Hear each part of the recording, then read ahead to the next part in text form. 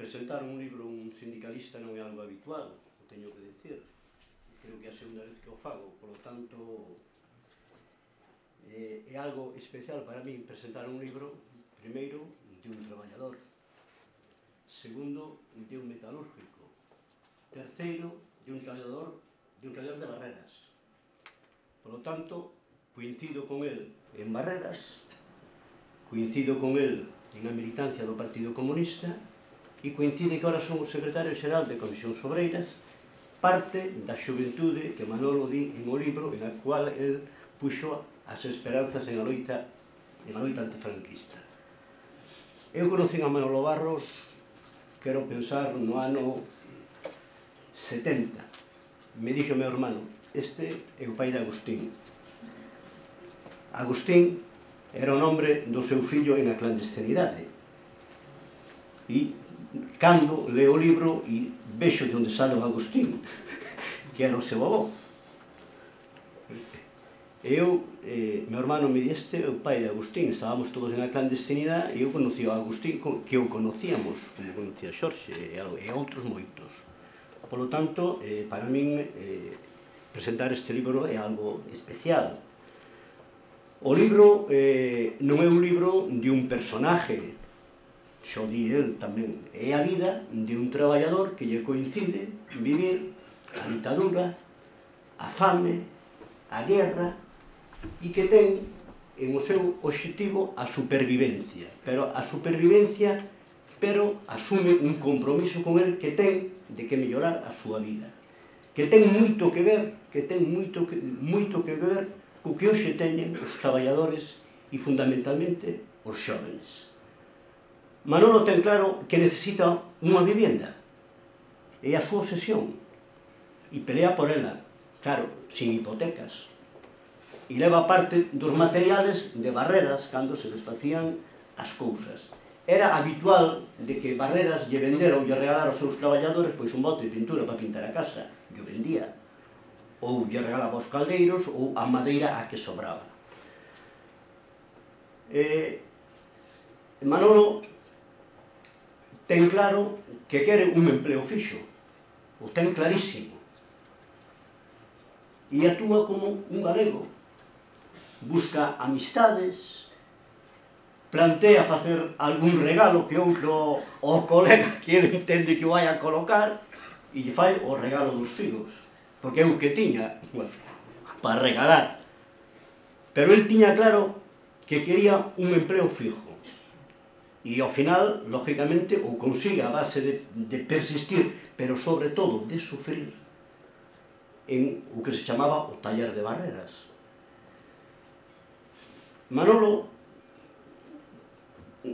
parte da, da súa historia e o seu compromiso, mm, despois despois da guerra xa, xa Carlos o planteou, por iso non, non, non o vou a non vou entrar en esta parte, ten claro o da vivienda ten claro o do emprego fixo, pero ten claro que ten que comer e ten de que ganar cartos.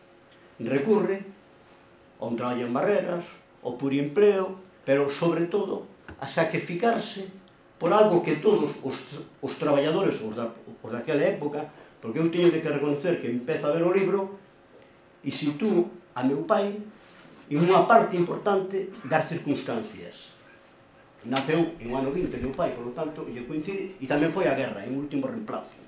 E, polo tanto, sufre as, as mesmas miserias e, e o que foi a transición a da ditadura ao estado semidemocrático, porque eu creo que a transición ainda está sin terminar, está bastante avanzada, pero sin terminar. E, e, e, por iso eu creo que este libro, que é a historia de un, de un traballador puro duro, honesto e coas ideas claras, non, a, non atende ao, ao a clásico personaje que escriba as súas memorias un pouco para para coller e dicir cal foi o seu papel en a sociedade. Que está ben que o fagan, non, todo o contrario. O fai para que se vexa como era a sociedade no ano 30, no ano 40, no ano 50, no ano 60 en o ano 70 aí, a partir do 80, xa a propia historia vai a juzgar a propia sociedade. Eu teño de que decir que ayer, repasando o libro, chegou o meu fillo a casa e me dixo que estaba, que estaba facendo. E lle din a ler solo a primeira página do da historia de Manolo, porque el chegou con prisa e dixo, ti le isto, e, si te engancha, E dixen, si te engancha, despois o lees. Leo a prim... Solo leo a primeira página, eh? cando fala do seu avó. que le gustaba traballar moito, dicía el. Leo iso e eh, xa enganchou o meu fillo no libro. Dixo, xa mo deixarás.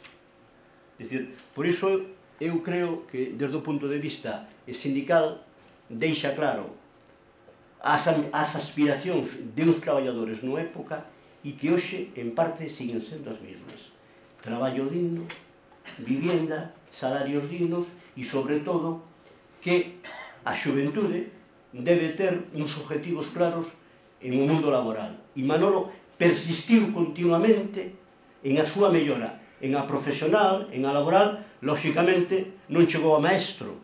Carlos planteou os, os obstáculos que se tiña. Tamén era bastante complicado chegar a maestro, polo menos en aquela época había que ir á escola de artes, había que ter uns, uns conocimientos básicos, e os mestros, os de Barreras, en aquela época eran bastante, os daquela época eran bastantes exquisitos, e ademais había que reunir un requisito como o do mestro Cespón, que había que ser mestro con unha vara ou unha verga na man, senón non era posible ser mestro en aquela época.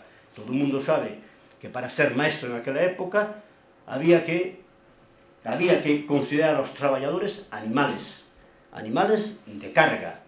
E iso o di claramente Manolo deja entrever en o libro. Polo tanto, é un homenaje a unha época, é un homenaje á dignidade de unha persona que ha sabido estar en o seu sitio como persona e como traballador e que pode servir ou debe de servir de espello para a xuventude que hoxe temos e, sobre todo, para os que hemos eh, compartido parte da nosa vida laboral con Manolo, porque eh, eh, eu creo que aquí hoxe hai moitos traballadores de barreras, está incluso está o jefe o de recursos humanos da empresa, non conoceu a Manolo porque chegou moito máis tarde, pero cando eu eu estuve con el e lle comentei o tema, dixen eu, debes dir a presentación de un libro de un traballador de barreras que foi importante dentro daqueles 1600 traballadores de que chegou a ter barreras. Pola miña parte, coa explicación de Carlos, o meu saúdo, e ahora lle, lle toca a Pepe. A Pepe.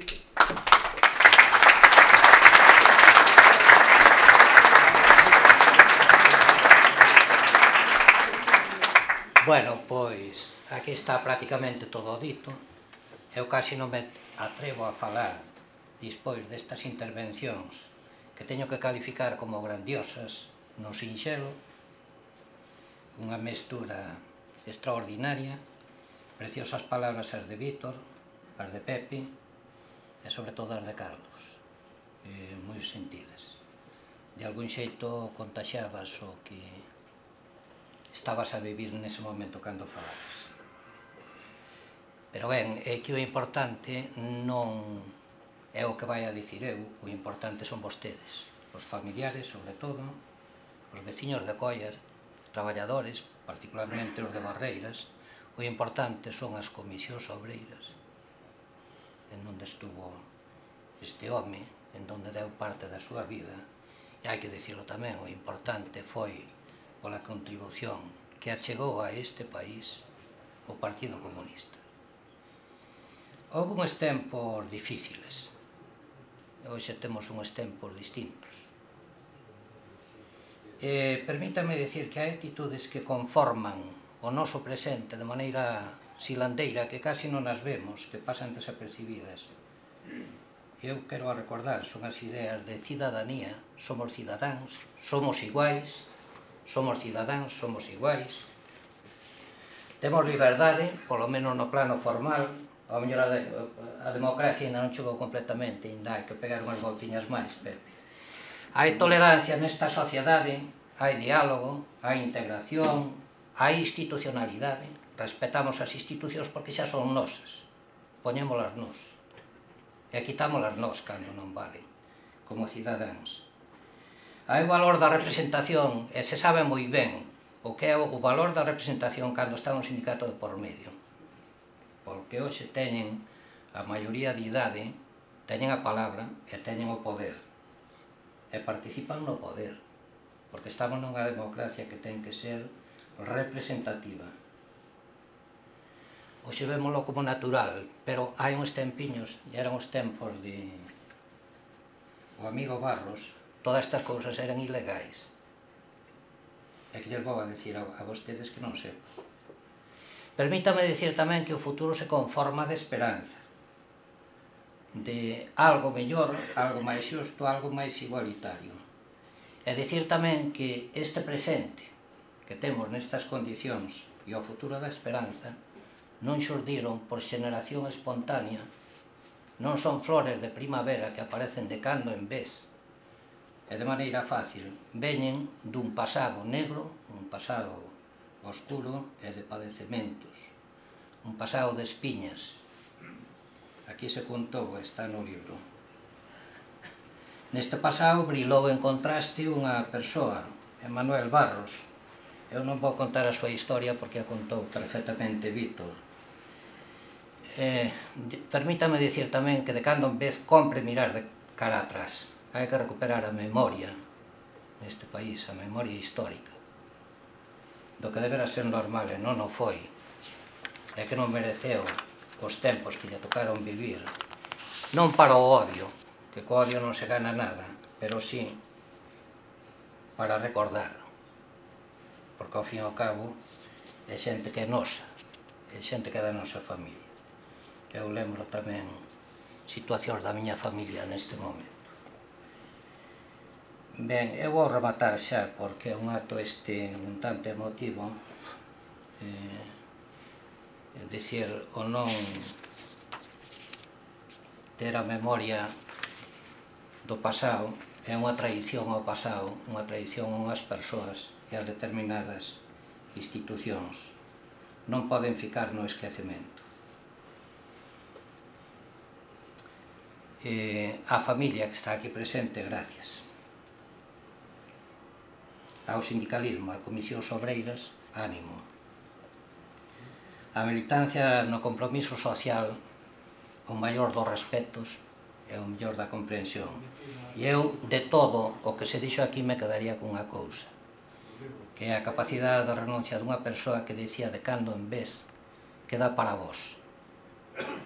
O que il fixo queda para nós. É de todos nós. E, eh, mentras non haxa esquecemento, sigue bebindo Manuel Barros. Moitas gracias e nada máis.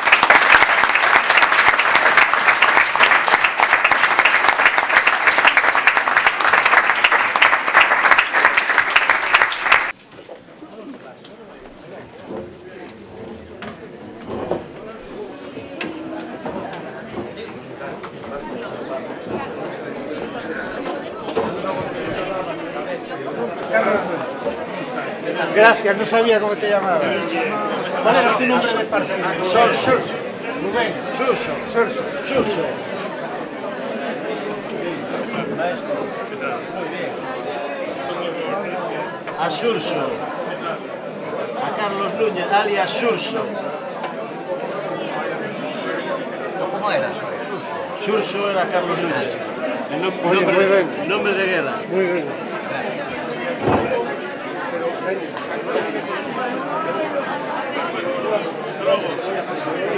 Carlos Núñez con amor de camarada. Muy bien. A mí me lo pones a mí y a, Isabel. Carlos. A mí, a- mí y a Isabel, ¿vale, Cari? Estabas preocupado por la asistencia. Tú sabes en quién confiar. ¿Eh? Don Barros. Chamamos. dices ti que teu pai non ascendeu, joder, se ascendeu, sube arriba da grúa, sube arriba da grúa, non vais nada por peleando, ele estaba arriba da grúa. Mira que ningún ascendeu.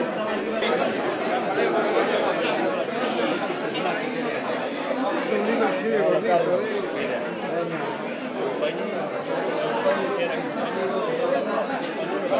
compañera,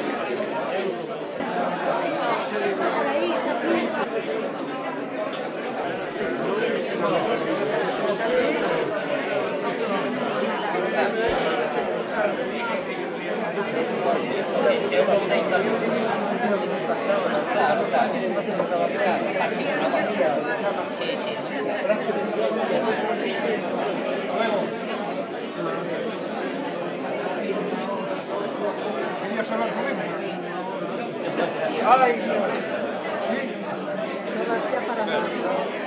pareceu o libro?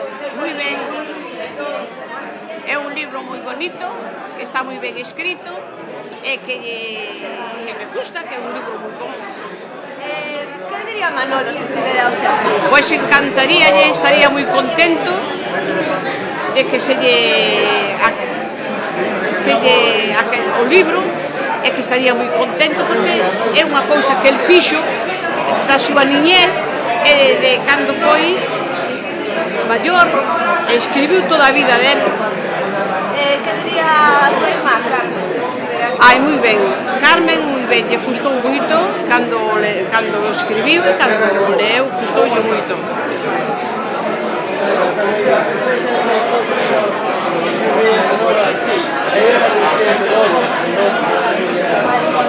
La pregunta es, este, es este, yo te digo, si estuviera Manolo aquí, eh, tú empieza con Manolo. Manolo Manolo, Man, si, si estuvera Manolo, Eh, no, que me empieces la frase con Manolo, en gallego. Manolo, Manolo, yo te digo, ¿qué, qué, qué, qué le parece? a ver, ¿qué diría Manolo si estuviera aquí? pois Manolo diría que lle